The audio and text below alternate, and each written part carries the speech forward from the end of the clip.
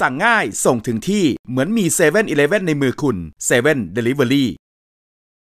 เมื่อวานนี้เป็นวันมวยไทยนะครับ 6 กุมภาพันธ์ฮะ ทางกรมส่งเสริมวัฒนธรรมกระทรวงวัฒนธรรมได้มีการ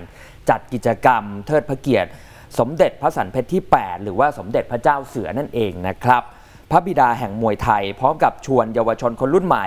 ร่วมในการเผยแพร่ มรดกวัฒนธรรมศิลปะการต่อสู้ของไทยให้เป็นที่รู้จัก ในวงกว้างติดตามได้จากรายงานของทางคุณธรรมประมลภัยสารสุนทรกิจครับลูกไม้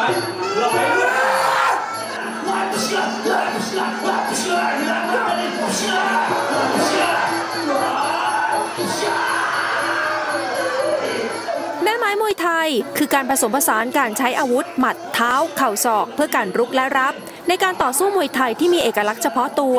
เป็นหนึ่งในไฮไลท์สำคัญที่ถูกนำมาจัดแสดงเนื่องในวันมวยไทย ที่กรมส่งเสริมวัฒนธรรมกระทรวงวัฒนธรรมจัดขึ้น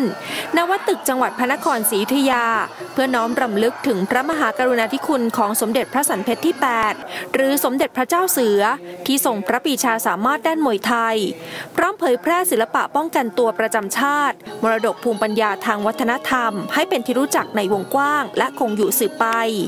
โดยมีนายอิทธิพลคุณปลื้มรัฐมนตรีว่าการกระทรวงวัฒนธรรมเป็นประธานในพิธี ครูมวยไทย นักมวยและนักเรียนมวยกว่า 668 คน ร่วมพิธีบวงสวงสมเด็จพระเจ้าเสือ พิธีครอบครู พิธีไหว้ครูไร่รำมวยไทย เทิดพระเกียรติสมเด็จพระสันเพชรที่ 8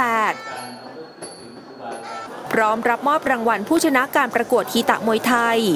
การเสวนาหัวข้อมวยไทยที่มาและความสำคัญกับการขึ้นทะเบียนยูเนสโกเป็นต้น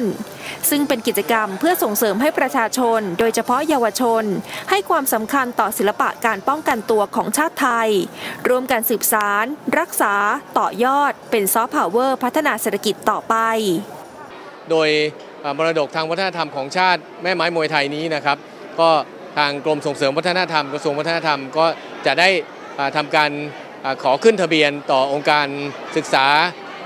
และวิทยาศาสตร์และวัฒนธรรมหรือยูเนสโกนะครับในการขึ้นทะเบียนเป็นมรดกวัฒนธรรมของมวลมนุษยชาติต่อไปนะครับซึ่งแม่ไม้มวยไทยนั้นก็ถือว่าเป็นหนึ่งใน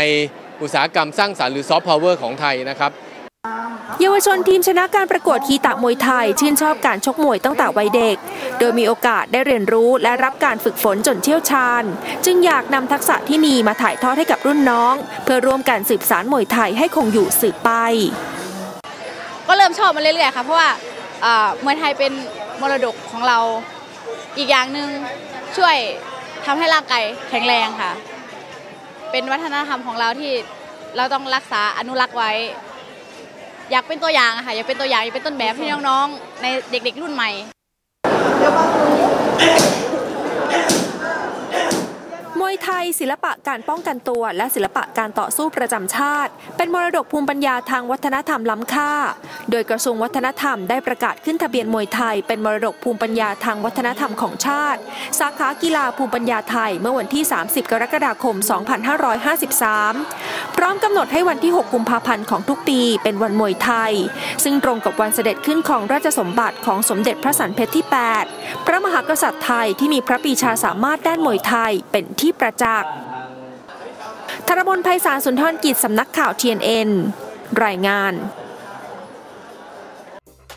ขอบคุณสำหรับการติดตามรับชม TNN News ข่าวเช้านะครับ อย่าลืมกด Subscribe กดไลค์กดแชร์ กดกระดิ่งเตือนในทุกช่องทางของ TNN ช่อง 16 นะครับ คุณผู้ชมจะไม่พลาดชมรายการสดและคลิปวิดีโอที่น่าสนใจมากมายครับ